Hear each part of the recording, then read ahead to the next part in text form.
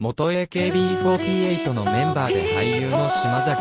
遥香29が7日、自身の SNS を更新。白肌美脚が際立つミニ丈ワンピース姿を披露した。島崎は色味が異なるグリーンの組み合わせがポップなミニワンピスタイル